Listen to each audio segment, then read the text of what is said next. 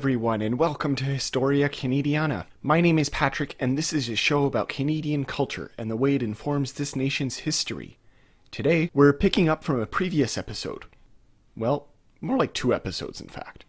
We are at a point in the show and our chronology where we have actually reached a second generation of a community who has impacted Canada in its perception as an imperial refuge and as a place that is profoundly distinct from America for that very reason, first and foremost.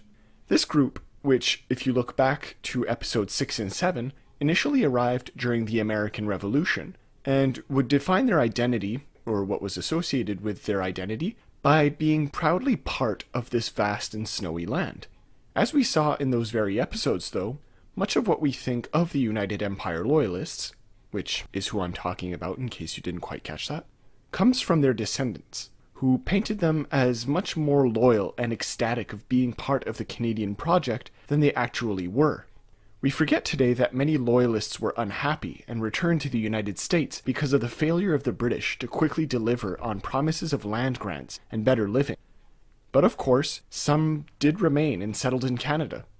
They moved out from the Maritimes to Upper Canada and had families, or even arrived directly up through Lower Canada. This is who we will be talking about today the second generation.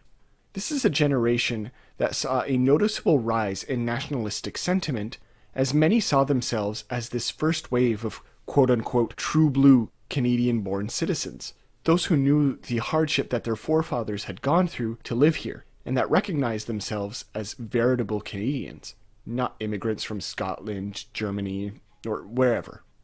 The claiming of them being the quote unquote first wasn't quite true, of course, but the writing and mentality of many of them certainly reflected such a perception we'll be mostly focusing on a specific poet and how he reflects how many of the Loyalist descendants impacted and were seen as being part of Canada.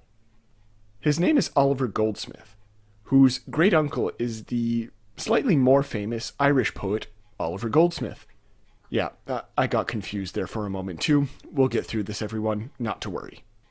Goldsmith will allow us to trace the further development of a cultural sentiment in British North America that would coalesce around this generation's idea of having a mentality that was specific to this place, but still inevitably tied to their European heritage. There would, as you might expect, be some issues with this representation, and we'll get to that.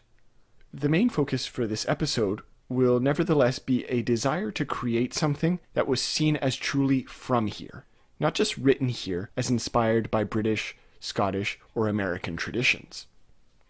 Before we get started, if you want to help support the show, please consider leaving a review on iTunes or checking out the recommended reading list in the description. If you buy a book through one of the links on that page, there's a kickback to me at no extra cost to you. Anyway, on with the show. Let's start off with a quick revision of who the Loyalists were and how much of an impact they had in Canada. In the midst, and especially in the aftermath of the American Revolution, approximately 30,000 men, women, and children fled the newly formed and internationally recognized United States of America. By the early 1780s, with most of these immigrants from the former 13 colonies having settled in Nova Scotia, the group known as the United Empire Loyalists would become the dominant group in the province. This is relatively unsurprising considering the population of Nova Scotia was about 17,000 prior to their arrival. The colonies in British North America really had a tough time getting a lot of settlers to come to them. While a great deal of the Loyalists and Black Loyalists, who were freed slaves who also came from America, were promised freedom and land grants should they remain within the British Empire and help with the war against the rebels, it became increasingly clear that the British administration had no idea that so many would actually take up that offer. This led to many of the Loyalists feeling rapidly disenfranchised by the lack of any follow through by the government in Nova Scotia and the Canadas. In that light, it was to be expected that many would return to the United States, despite their initial disavowal of its new form of Republican democracy. Those who did stay would be seen as the precursors of a Canadian identity, but that is mostly a myth. Yes, you will find the likes of Joseph Stansbury and Jonathan Odell, who we've talked about on the show before, that wrote about the glories of the British flag, satirically about republicanism and the Canadian scene. But these were few and far between. Many of the Loyalists, who were admittedly of literary and educated inclinations, wrote before coming here, and what they did write had little to no relationship to Canada. This last idea actually kind of gets us onto the topic at hand more appropriately. You see, I'll remind you that, especially in Nova Scotia and the Maritimes, but also a bit in Upper Canada, the Loyalists were big on developing schools and newspapers. This, combined with the population boom that was precipitated by their arrival, would help with the raising of a new generation that was better informed about the matters around them, that had the means and knowledge to express them correctly, and that were large enough in numbers to create a noticeable pool of writers, thinkers, and influential types. A few of them would remain within the Canadian limelight long after their deaths. Before we actually get into our author for today, I want to talk a little bit about where we are in the 1820s and the beginning of the 1830s. What does British North America look like at that moment? We have touched upon the situation here and there in previous episodes, but let's condense it all here for the sake of simplicity. Those who will remember John Galt from episode number 12 will remember that he was a leading part of the Canada Company. This company, like many others that had been assented by way of a royal charter, were tasked with bringing over settlers from the so called Old World and establishing them in the colonies, like Canada. In essence, the United Kingdom commissioned private companies to exploit and quote unquote develop the land. The most famous example of this is the Hudson's Bay Company in the middle of North America, which was mostly involved in the fur trade, but that performed some of these extra duties by extension. I mention these companies because by the 1820s, there is an increasing push to not only create them, but maximize their efficiency. Again, pulling from past episode tidbits, this is where there will be an increased amount of encouraged migration from places in Europe where industrialization made manpower less necessary. But in the colonies, where forests and lands still needed a human touch, as machines couldn't labor away swaths of land yet, these migrants were perfect. Little by little, migrants from Scotland, Ireland, and even Eastern Europe were brought into lands that had been acquired by the likes of the Canada Company. We therefore see a gradual expansion towards the west from Upper Canada that would take off more ardently by this time. From a political and economic standpoint, I want to talk a little bit about banks and government. And I promise, before anyone skips over this part or abandons the episode wholeheartedly by the mere mention of this topic, I swear that this is related to the overall subject. More specifically, let's discuss something called the Family Compact and the Bank of Upper Canada. While I have an episode planned about what the Canadian colonial administration looked like under purely British rule, we'll still cover a bit of it here just for the sake of context. What you need to know is that positions in British North America were not really voted upon, at least not in any meaningful sense. By this time in Canadian political history, male citizens could vote for the Legislative Assembly, who get to vote on laws and legislation, which is always good in a fair society. But the thing is, this assembly could be vetoed by higher positions which were, well, chosen, not voted into power, by the overseas British administration, which was represented by the Colonial Office. This is where the Family Compact comes into play. This was the name given, although not officially, to the perceived network of rich British aristocrats who were continuously put into positions of great power by friends in the Canadian government and was especially referenced in the Upper Canadian context.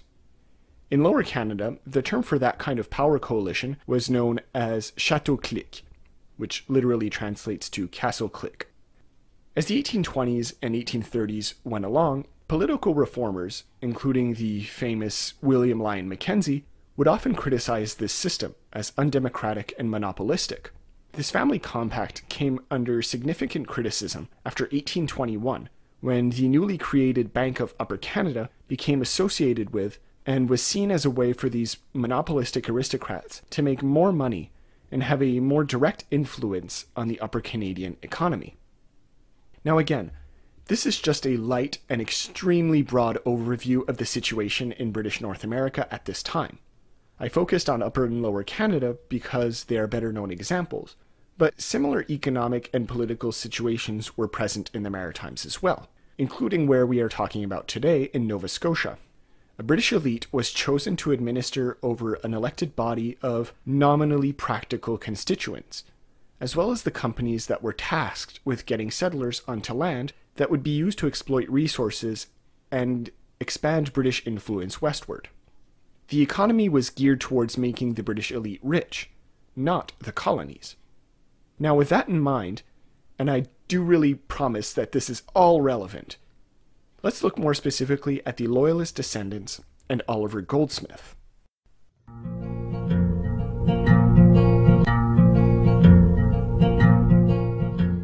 Okay, so good old Ollie Goldsmith.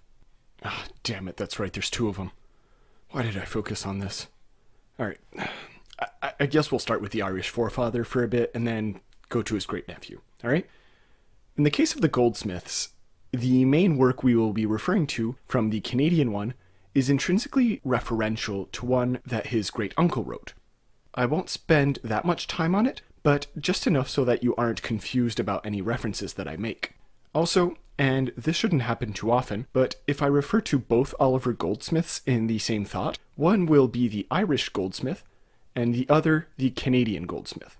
I toyed with the idea of using an Irish accent for one and a stereotypical Canadian one for the other, but you can imagine how horribly insensitive and ridiculous that came off as. Let's, let, let's just say my voice acting career is not about to kick off. Anyway, the Irish Goldsmith was born in 1728. His early life was actually quite harsh. Despite coming from a well to do family and being educated to the bachelor's level in Edinburgh, he was apparently quite unhappy and would be plagued with depleting funds and bad luck for most of his time in school, never making it past his bachelor's degree. He traveled Europe until he came almost full circle by ending up in London in 1756. He was completely penniless by then. From that moment on, he would become increasingly known as a writer, gaining attention with his poetry in 1764 with the publication of The Traveller, and two years later of his novel, The Vicar of Wakefield. Both are considered to be pretty important in the development of 18th century poetry in English, and are considered as quasi classics, if you will. The work we want to concentrate on for the sake of this podcast, though, is his 1770 poem, The Deserted Village.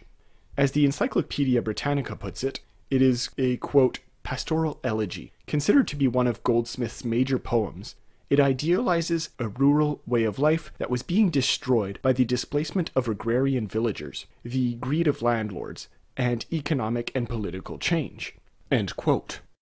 In case you might not remember, this is not the first time that such a theme pops up on the show, especially not within the context of the rapid industrialization of Britain that was going on in this time. Goldsmith's elegy which, by the way, is a term used to describe poems that lament the death or loss of something, is simply noted as an excellent and well written version of this that deserves to be remembered. The whole thing is a long form and rather witty poem that sentimentally cries for the loss of human agency in agrarian England that was slowly being lost to an increasingly secure and stable hierarchy and the privatization of land that forces people away from the village, hence the title. In essence, it values the quote unquote traditional way of life that was much more communal than what it was becoming in Great Britain throughout the 17th and 18th century. Here's an excerpt from The Deserted Village to give you an idea. Quote, the loud laugh that spoke the vacant mind, these all in sweet confusion sought the shade, and filled each pause the nightingale had made. But now the sounds of population fail, no cheerful murmurs fluctuate in the gale. No busy steps the grass grown footway tread, for all the bloomy flush of life is fled.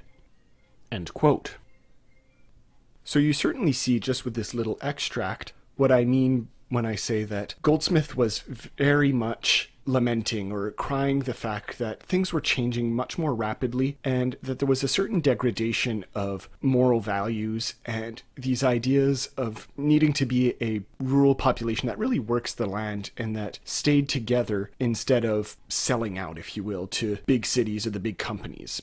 See, this isn't exactly a 21st century problem. With that, let's move on to the Loyalist descendants in our Canadian history. Finally! Let's flash forward about 25 years to 1794, across the ocean, to St. Andrews in New Brunswick, when a couple of Loyalists, Henry Goldsmith and Mary Mason, gave birth to their son, Oliver Goldsmith, the Canadian Goldsmith. Not long after his birth, though, the family moved to Annapolis Royal in Nova Scotia before settling for good in Halifax. It is during his time in Nova Scotia's capital that he would secure a job, after having spent many years being as close to idle as possible, that would take him around the world. Among the commissariat of the British Army, which essentially means that he was one of the men who took care of the goods and storage, Goldsmith would travel around the world, from one end of the empire to the next.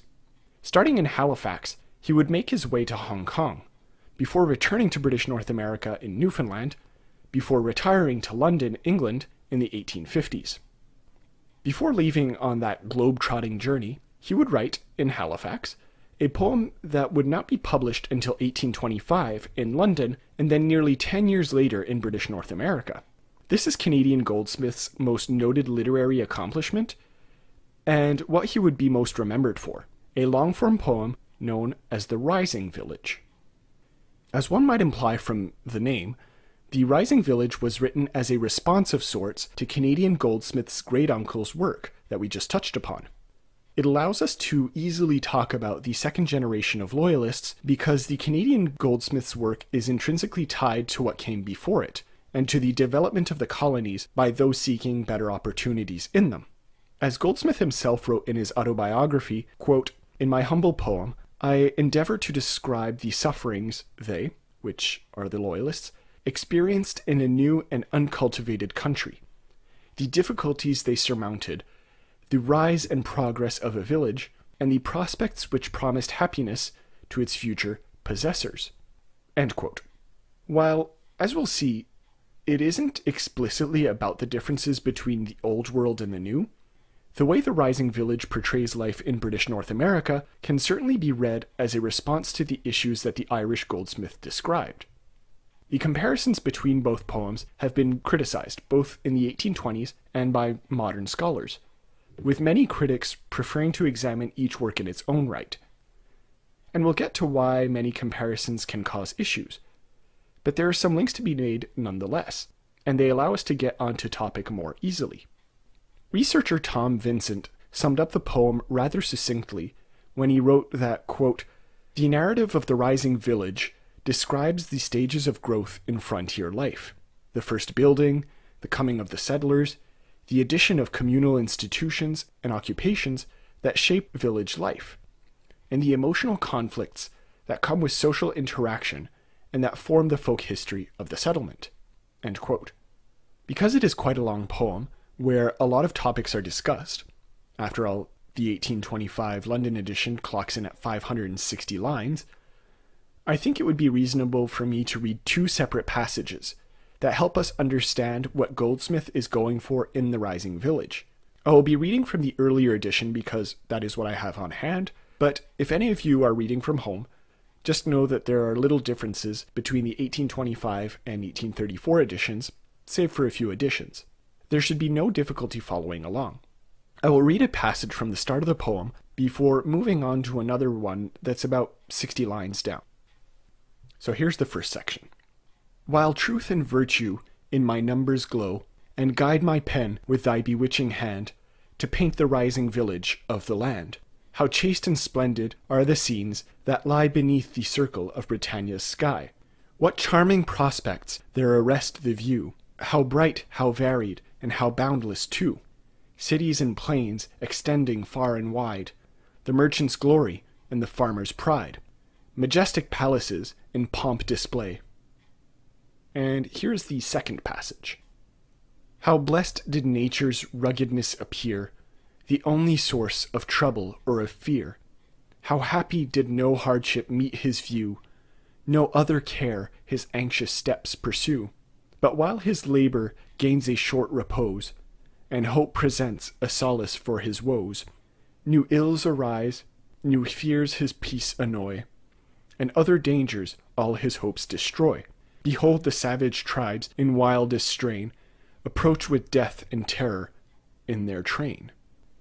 So, superficially, these two passages are indicative of the central theme of the poem. We can analyze this work as much as any other poem, but as Tom Vincent points out again, this was a work that was intended to be read by an audience for whom veiled allegories and ironic subtleties would mean little. But they would certainly have understood that this poem was about settlement and the quote unquote civilizing of the wilderness area. That the heart of this experience lies in the nurturing of good values in a harsh and unforgiving environment. That is the main point of most colonial literature striving for civilization while recognizing its essential vulnerability. That is why Goldsmith, only a few lines apart, references the building of great towns and the taming of the land, while also warning of the danger still seen as being posed to the European settlers by Native Americans. Obviously, that's what he meant, unfortunately, by savages. With that in mind, let's look a little deeper now at what we can gather about the life in 1520s Nova Scotia and the Loyalists' heritage.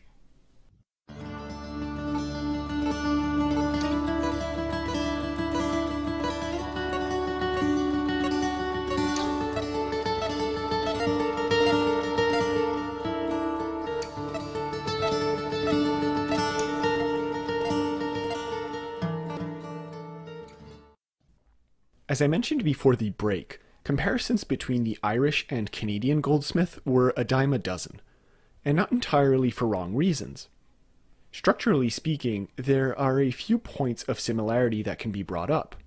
The contrasts between the past and the present are what both works begin with, with the Irish goldsmith lauding the British past as much as the Canadian goldsmith does the colonial present.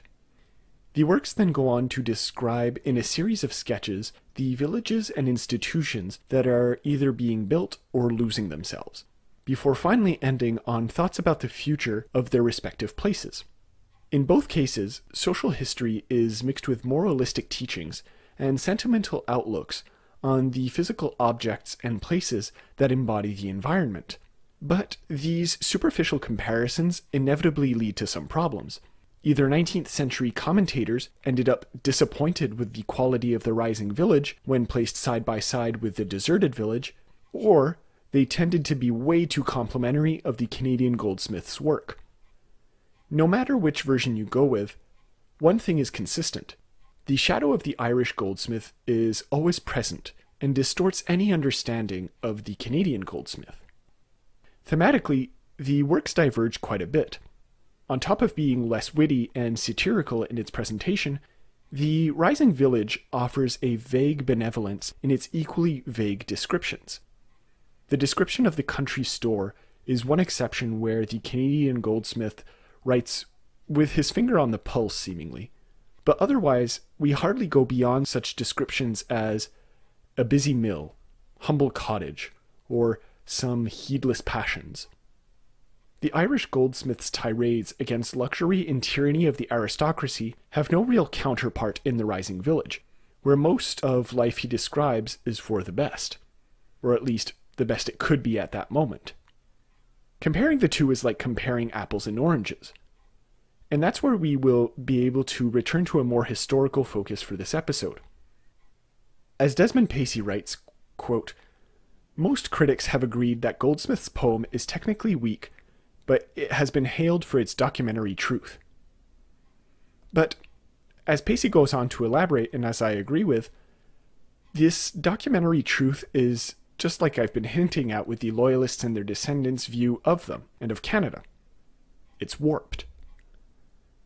While a side by side comparison of the deserted village and the rising village is all but useless, it does offer a door into how history is perceived or is propagated. The constant attachment of these first generations of Canadian born writers to their forefathers is something that warps not only our perception of a continuity in Canada, but would have warped our own. The Loyalist descendants, like the Canadian Oliver Goldsmith, amplified the sacrifices of their forefathers as they came to British North America. It created a kind of exceptionalism in their mind from where we get most of our presumptions about Loyalists today. On top of that, as we've noted many times on this very show, Many writers and poets were quick to emphasize the good and pleasant things in the fledgling colony. In Nova Scotia, as well as Upper and Lower Canada, a sense of wanting to define themselves as a nation and distinct people within the empire took hold quite strongly, especially after the Napoleonic Wars and the War of 1812, as it was known here. So, the so called documentary truth that has been associated with the Rising Village can be cast in a different light. Its apparent or claimed relation to the political and social reality of Nova Scotia of the 1820s and 30s becomes more and more tenuous the longer you think about it. That is why I insisted on covering some of the history at the top of the show. At this point in time, Nova Scotia was, much like Upper and Lower Canada, restive under a political oligarchy that was based in Halifax. Its economy was barely its own, and it existed mostly to supply primary resources for the British that needed it for their worldwide endeavors. None of these potential criticisms, which arguably would have made it much more like the Irish goldsmith's poem, are present. The hardships and triumphs of the settlers are too vague for any meaningful extrapolation to exist. Now, I'm not saying that art can't simply be beautiful for the sake of it. Not at all. In this case, though, when the intent was to portray the life in British North America, the Rising Village comes off as insanely hopeful. This can be good, but it is a mentality that needs to begin with the acknowledgement of certain issues, I feel. I don't want to end on such a downer, though. There are one or two elements that we can give Oliver Goldsmith's The Rising Village credit for. If it isn't a document of the Loyalist migration, it certainly is one that documents the shift in the Canadian imagination. Writers like Goldsmith were ones that wanted to emphasize the choice that was made by the Loyalists to be in Canada, or at least not in the United States for a variety of reasons. In the aftermath of the War of 1812, as we covered in episode 11, mentalities were beginning to change around what it meant to be Canadian it became less about being British in a foreign and arduous territory, but about the choice to be here and to live according to the lifestyle that this specific place offers. The Rising Village is emblematic in its portrayal of the will to live in Canada, and also of the will to develop a cultural identity in a much more deliberate fashion than what we have covered before on this show. Our past works have often concentrated on British writers who wanted to invite people to come over, or jabs at American republicanism. Things that might be elements of the Canadian mindset, but that haven't quite wanted to be something outside of the French or British tradition, ergo, the Loyalists. But while the Rising Village is plagued by the shadow of its own forefather, it set out to create, with varying degrees of success, something that was specific to the Canadian landscape and lifestyle. Keeping the old tradition in mind, and obviously propping it up in some respects, but trying to move past it.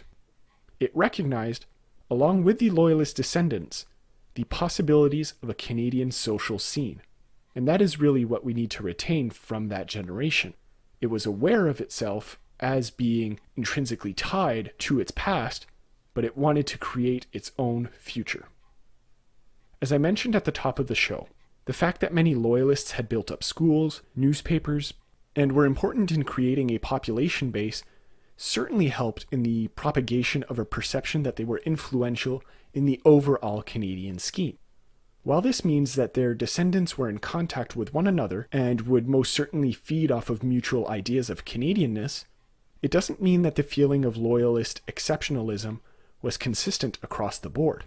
Obviously, what shape this social and cultural scene would take was not unanimously understood by all those of so called loyalist stock and the other Canadian born populations that weren't claiming to be of that descent.